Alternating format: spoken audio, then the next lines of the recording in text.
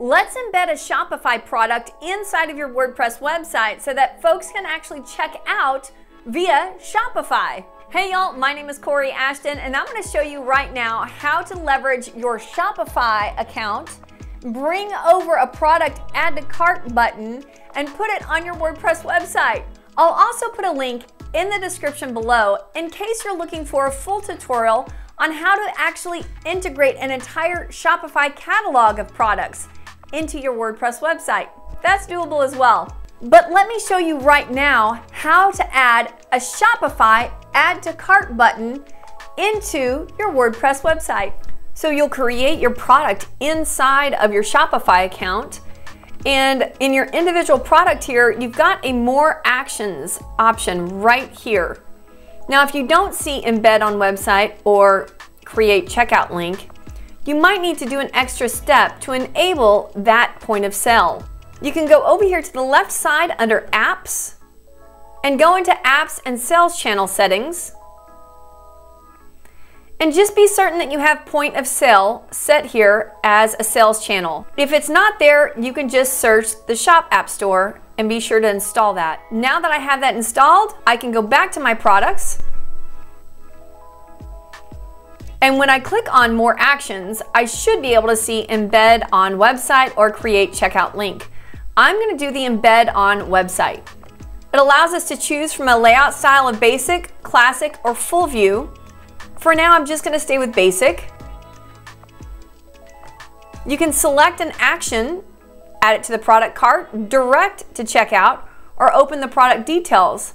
I'm gonna say add it directly to the cart. Love that. And there's the code already sitting here. So you can just click the green button, copy code, and let's take that over to our WordPress website. Okay, now I'm back inside of my WordPress dashboard and I'm in a page right now. You can do this in a post as well. And I'm gonna go ahead and choose the HTML block and I will paste in my code. We can click preview right there and there's my beautiful add to cart button ready to go. If I wanted it to have the actual thumbnail of the item. I could do that as well with that more advanced bit of code. Let me show you what that looks like. Going back over to our store, let's choose the full view and we'll copy that code, jump back over here into HTML. Let's remove what's there and we'll paste in the new code and go ahead and click preview. And now you'll see it with the full picture, the price, the title, and the add to cart button. And if I'd given it a description, it pulled it there as well. Let's take a look at what this looks like on the front side of the website. And beautiful, sits right in there. If I'd had multiple images, all of those would appear here as well. Let me show you what the user experience looks like. If I click add to cart, look at this nice little flyout that happens. All of that came with just that simple bit of code that I pasted. I've added no other plugins, no other functionality to my WordPress website. Click checkout and it actually then moves you over into a Shopify checkout platform right here, all securely, all safely through your Shopify account.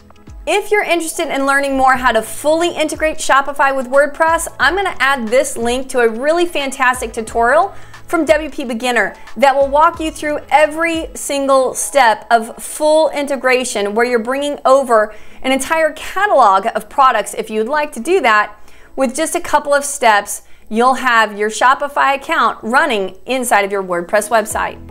Y'all, I hope this was helpful for you. I have an entire YouTube channel dedicated to all things WordPress. Please be sure to click like and subscribe. Come back here with me every single Wednesday where I'm helping you improve your online marketing.